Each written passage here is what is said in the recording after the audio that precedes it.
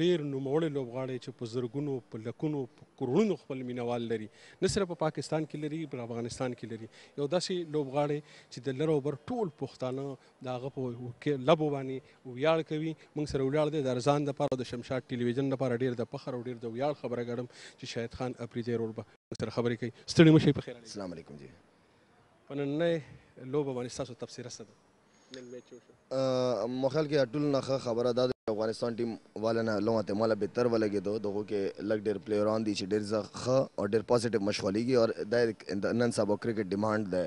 مخال کې دغه انداسه خپل فټنس لیول ښه کی او نور ښه پرفارمنسز ورکړي دغه کانفیډنس لیول به های شي سمره ډېر کرکټ کوي ماره به دغه لا فائدہ ملويږي نو مخال کې نن ډېر ښه مشغول شو بیټینګ اسپیشلی دغه وکټ باندې ډېر ښه بیټینګ یې وکړه او یو ښه ټوټل یې ورکړ او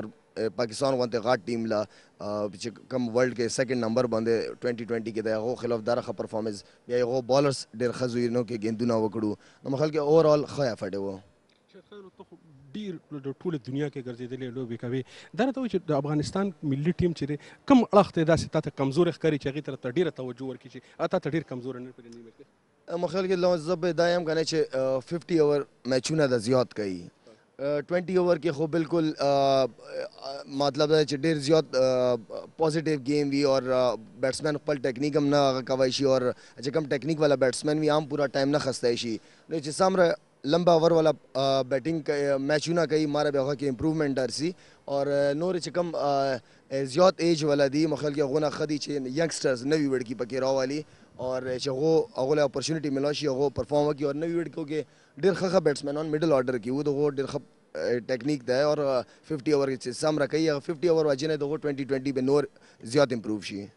دا اوس په ستا خو ډیر زیات مینوال دی په افغانستان کې ته هغه هغه ته څه وای چې لکه په افغانستان کې کرکټ ته ودی لپاره سو کې په کلو کې په خارونو کې په هغه کې داسې ګراوندونه جوړ کې په هغه کې لوبیو کې څه د افغانستان کرکټ ته ودی مخل کې افغانستان ګورنمنت باندې ډیره غټه ریسپانسبিলিټي دو ٹھیک ته تاسو خپل سیاست کاو هر شي کاو لیکن چې دا کم ویډ کې دي دا کم ځوانان دي د غولا الله طرفه نه اپرچونټی ملاو دی الله طرفه نه دغو له پکار دی چه اویل کی اور ګورنمنټ له پکار دی چه ښه ښه اکاډمیز وی ته ملاو کی دغو له هر قسم فیسلټیز ویر کی مخل کی دا یو دغو کی ښه شای دا دی چه یو جذبی نه مشغولیږی ای جذبی سره چه دغو کم فینس دی دغو چانه والا چه کم افغانستان کی یا بهر دی نو دغو فالو کوی نو ښه دی چه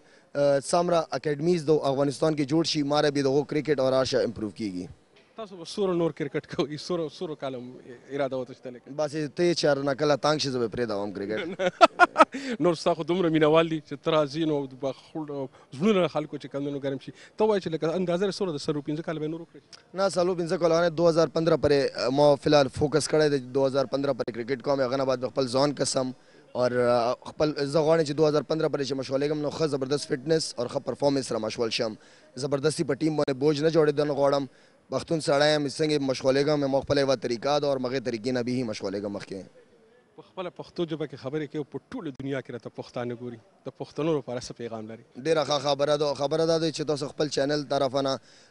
د موږ پښتنانو له الله یو ښه غونتی لیډر ویرګی موږ پښتنو له پښتون خلکو د پاره لیډر نشته الله وکی چی ښه لیډران وی ته ملاو شی موږ پښتون غونتی خال چیته هم نشتی نشته اور مخل کې زه خو ډېر فخر کوم چې د مو مشران ټول افغانستان سره تعلق ته خلکو سره مشران بزرګان چې کله هم حالات خراب وای نو مو مشران همیشه افغانستان لتلو جرګې په شکل کې اور الحمدلله ډېر زیات مو خالتي حالت نه مو خپلوان اوسېږي اور ان شاء الله ډېر زر به زم افغانستان له چکر لګزمي لګوم ستا ډېر ډېر مننه چې تا زموږ لپاره دا وخت راکړ موږ سره د خبرې ډېر مهرباني تاسو ډېر مهرباني پښتون سړی وې پښتون چینل دا ځکه سره